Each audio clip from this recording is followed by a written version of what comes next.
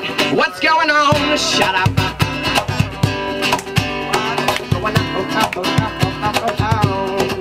What's going on?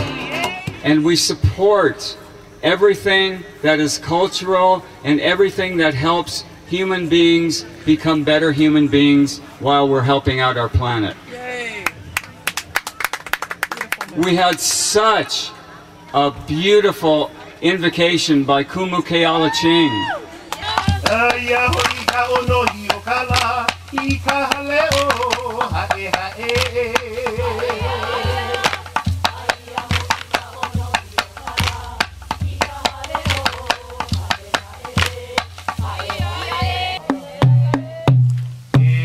La ka ka le hua o ka ana, hino hino hi hua le hua le, hiwa hiwa. Aloha, I'm Randall Rupar, and this is our fourth annual Hawaii Avocado Festival. We're here at the beautiful Amy B.H. Greenwell Ethnobotanical Gardens, which is one of the most wonderful venues here on Hawaii Island to just stay in tune and in touch with the endemic and indigenous species of our lovely island.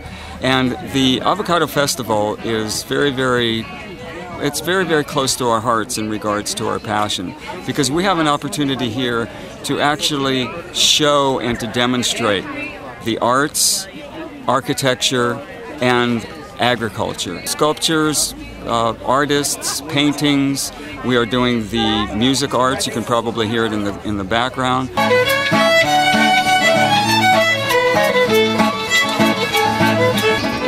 wish I had some strength.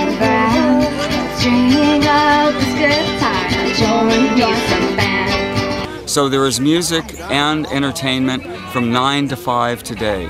We have a, a main stage going on with, with music. Me and Mr. Washington go forth with no real direction, dreaming of the day we drive our cars into the ocean.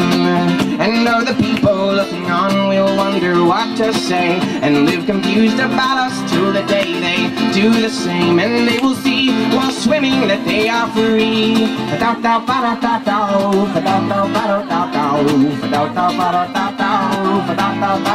Like that, y'all. Very oh. oh.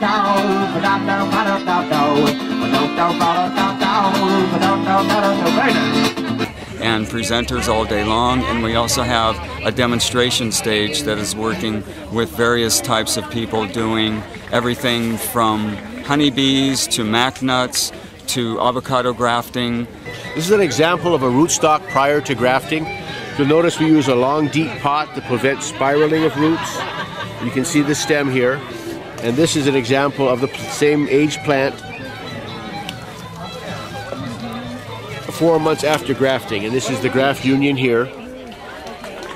And this is a field a plant that's just about ready for field planting. and other things that are very, very important to agriculture, including worms. Now, worms are so very important because they will aerate the soil as well as take your garbage and make it into one of the most beautiful composts that you ever, ever have. And they're free. All you got to do is feed them your garbage, and they will turn your garbage into beautiful compost so that all your flowers will be um, will be just delightful. We also had a panel discussion called "Bringing Culture Back to Agriculture," and what that means is is that culture follows agriculture, and unfortunately, in this day and age, what's happened is that our culture has been so eclipsed by materialism that we forget the basics of how we live. And that basicness is agriculture and the food that we eat. The first thing in regards to survival is food. And food is so important. So we've got to get back to the land.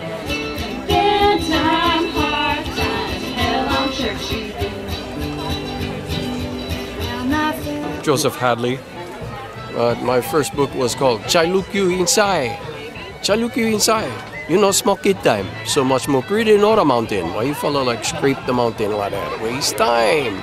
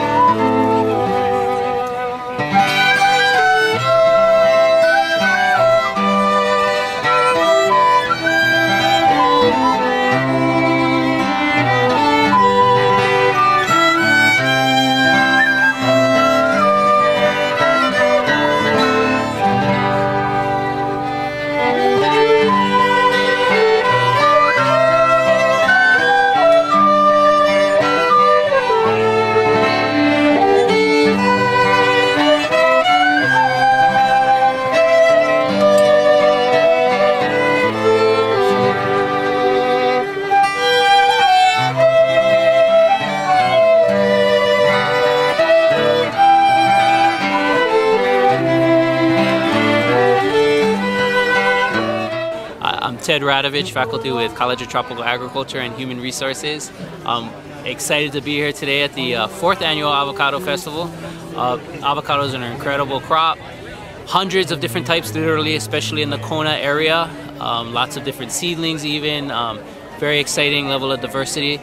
Um, so we're happy to be here, and uh, uh, thank you to Randall for putting this on. see you there. Because I'm about to fairly close to leave. Okay? I'll be right there.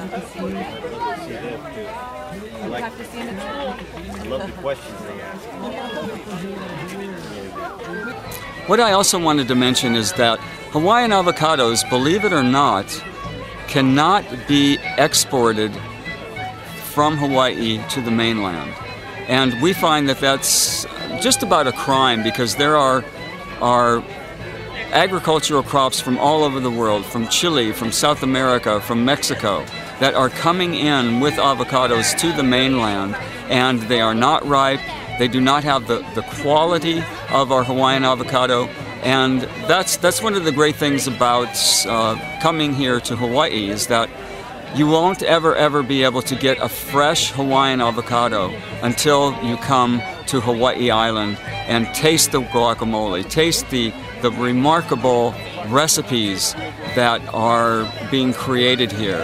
And the recipe contest is just about world famous, and we have uh, we have had entries from avocado ice cream to avocado butter to avocado roll-ups to cake. Uh, to avocado cake, avocado smoothies. Uh, it's it's just uh, avocados uh, are only limited to your own culinary imagination. What do I do? Well, What did you do here? oh, we organized the recipe contest and we had magnificent entries. Every single one was absolutely delicious. And we will be collecting the recipes. The recipes from the four avocado festivals that we've had will all be going into a book along with avocado folklore and maybe other recipes. Hopefully, we'll be getting that book out hopefully by the end of the year. And we just had our winners, the Mango Court um, proprietors, Kona Stories, Annie's Burgers, Divine Goods, and Island Naturals all contributed the beautiful prizes for our winners. Right now we're working on the People's Choice, and we'll have a winner there pretty soon as well. Thank you. Jump in one. Okay. Thank you. Yes. Oh, Bayo, oy vey!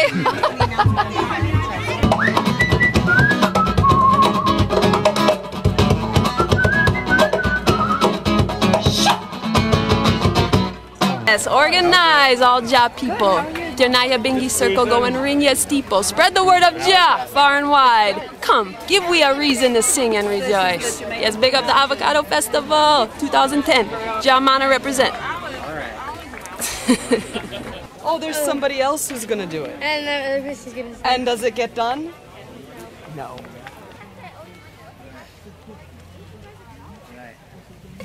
We gotta face her.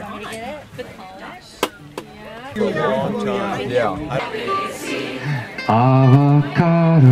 Avocado. It's a fruit. It's a fruit. Some say it's a nut. And it's never just a seed. Okay, I just had to.